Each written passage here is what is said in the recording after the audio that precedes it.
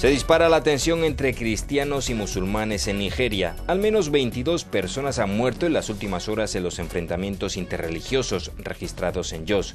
En esa misma ciudad en la que han ardido decenas de coches y viviendas, enfrentamientos similares dejaron 13 muertos el pasado lunes.